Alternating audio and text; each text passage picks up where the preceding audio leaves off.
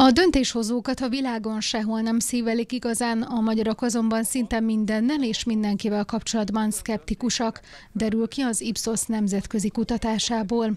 Magyarország egyike azon kevés helynek a világon, ahol nagyobb valószínűséggel tartják megbízhatatlannak egy adott szakma képviselőit, mint megbízhatónak, írja 24.hu az Ipsos felmérése alapján.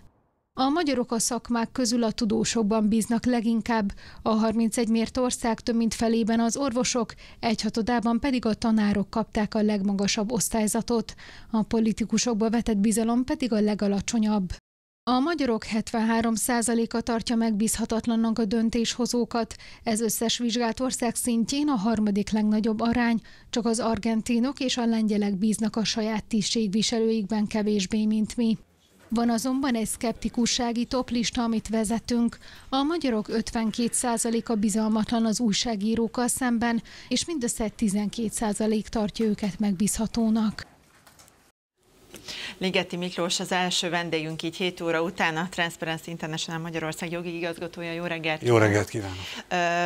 A két dolog valószínűleg összefügg a kormány fejében mindenképpen, hogy mely szereplők mennyire megbízhatóak a magyar emberek szemében, és a szuverenitásvédelem hogy áll, de kezdjük az utóbbival, és aztán majd kiukadunk szerintem a megbízhatóság kérdéskörénél is. Szóval ugye ma tárgyalja a parlament ezt a bizonyos szuverenitásvédelmi törvénycsomagot, aminek a lényege az az, hogy külföldi támogatást nem lehet majd elfogadni alapvetően pártoknak, civil szervezeteknek, orgánumoknak, újságíróknak, Kérdés, hogy e, ezt kötik-e valami dátumhoz, mondjuk a választás kiírásának napjától, vagy hasonló. De vegyünk egy konkrét példát, mondjuk a transzparency esetében, ez mit jelent? ha ez így, ahogy van, átmegy? Hát, tisztázzuk azt, hogy a kormány már próbálkozott azzal, hogy a nem belföldi eredetű forrásokat, pénzszerzést megpróbálja megtiltani, vagy legalább stigmatizálni.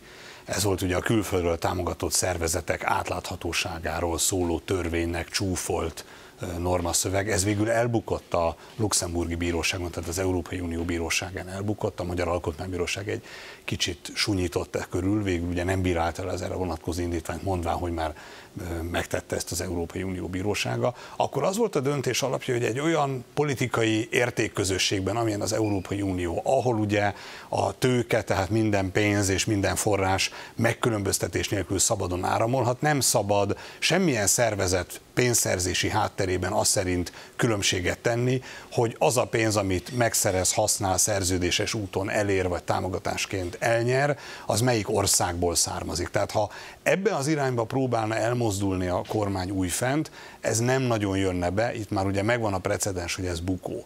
Az más kérdés, hogy a politika finanszírozást, ami azért eltér attól, hogy valaki külföldről támogatást gyűjt, hiszen ugye a politika az csak a politikai pártokra és azoknak a törvény szerinti alapítványaira vonatkozik, mármint a politika finanszírozás, azt már régebb óta nyírja a kormány, jelenleg politikai párt, az kifejezetten és kizárólag belföldről és csak természetes személytől, tehát magyar állampolgár természetes személyektől, magyar emberektől gyűjthet pénzt, sem cégektől, mert annak ugye nem lehet tudni, hogy pontosan ki van a hátterében, függetlenül attól, hogy hol jegyezték be, sem külföldi állampolgárságú személyektől, ez már 2014. január 1 óta így van.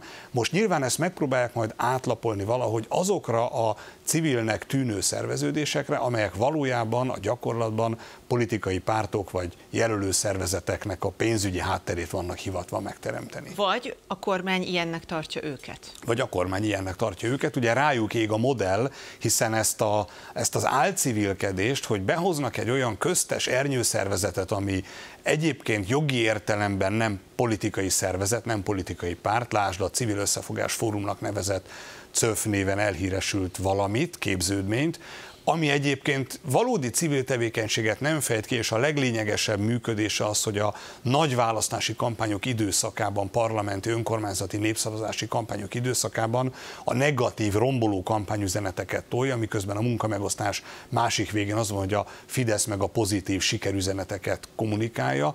Most ezt a modellt eltanulja az ellenzék, akkor rögtön fáj a kormánynak. Jó, de most a, tehát ugye az eredeti kérdésem az konkrétan vonatkozott a transzparencre, de is az, de ön azt érzi, hogy az ilyen típusú ö, szervezetek, mint mondjuk az önöké, illetve azok, amik jogvédő munkát végeznek, illetve médiában nem egyes pártokat támogatnak, hanem mondjuk független orgánumok, azokat nem fenyegeti az a veszély, hogy ezt a sablont rájuk hozza majd ez a törvényjavaslat, és így nem fogadhatnak el külföldi támogatást? Nyilván ez feltételezhető a szabályozás szándéka mögött, tehát a kormány egyik mozgatórugója valószínűleg ez lehet.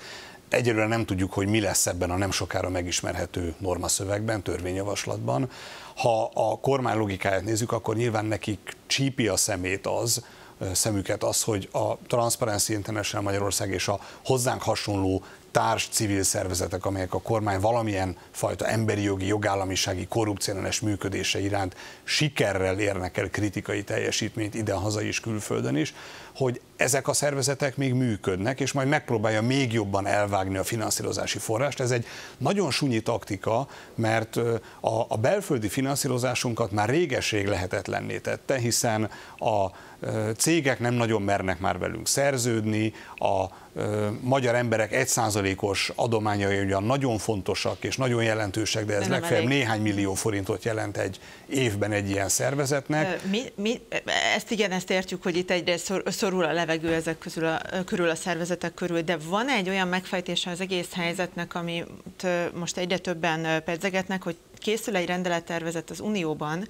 ami elég nehéz helyzetbe hozná a magyar kormányt, mert hogy ez arról szól, hogy egységesítenék a közszolgálati médiumokra vonatkozó szabályozást. Egyrészt olyan szempontból, hogy az Unió tagállamaiban a médiaszolgáltatókra egységesebb szabályok vonatkoznának, a közmédiumok függetlenségét garantálni kellene, illetve az állami hirdetések elosztását nyílt csatornákon arányosítva kellene megoldani. Na mondjuk pont ez a két dolog elég problematikus idehaza, és akkor finoman fogalmaztam. Hát, valószínűleg azért ennyire és nem ijed. válasz lenne ez a szuverenitás védelmi. Szerintem a kettő nem függ közvetlenül össze. A kormánynak nem nagyon kell félnie attól, hogy az uniós média szabályozás érdemben be fog avatkozni a magyar médiapiacba. Ha az Unió be akarna avatkozni a magyar média helyzetbe, akkor a Kesmára vonatkozó ez a közép-európai sajtó és média alapítványom ugye összegyűjtötte a lojális lakánymédia tulajdonjogokat egy kézbe, az ezzel kapcsolatos a mérték média elemző műhely által benyújtott panaszt elbírálta volna, beavatkozott volna, nem tette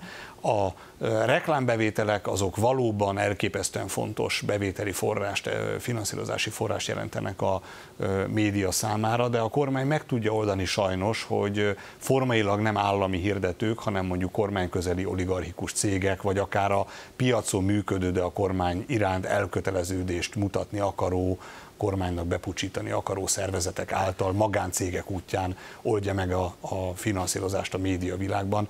Ezt ki tudja technikázni, ki tudja trükközni a kormány, itt nincs mitől félnie. Amitől tart, mert ugye nagyon szeretnek túlbiztosítani, az az, hogy ugye 2019-ben észlelték, hogy a közösségi médiafelületeken lemaradtak a kampányolásban, iszonyatos tempóban behozták ezt a hátrányt, túlbiztosították magukat. Rájöttek, hogy az ellenzék képes eltanulni a CÖF modellt, és bár belföldről nem tudja magát finanszírozni, de külföldről még pénzhez jut. Egyébként megjegyzem, mielőtt bárki azt gondolná, hogy a Transparency International Magyarország nem ítélte el, vagy nem tartotta problematikusnak azt, hogy a Márkizai Péter fémjelezte ellenzéki összefogás az külföldről jutott finanszírozáshoz. Mi ezt mindig komoly politikai botránynak egy a kormány által saját magát kedvezményezendő, nyitva tartott résen történő finanszírozási modellnek tekintettük, amit az ellenzék is átvett, ettől ez még nagyon nagy baj, de a baj forrása nem az, hogy valamit jogszabályilag elfelejtettek megtiltani, a baj forrása az, hogy nem tisztességes a hazai politika finanszírozás. Hogyha úgy megy át ez a szuverenitás védelmi csomag, amiről most beszéltünk, tehát hogy a választásokon jelöltet állító pártokat, támogató civil szervezetekre vonatkozik, akkor azokon az európai fórumokon, amin az előző más tartalmú törvénymódosítás nem ment át, ez átmehet?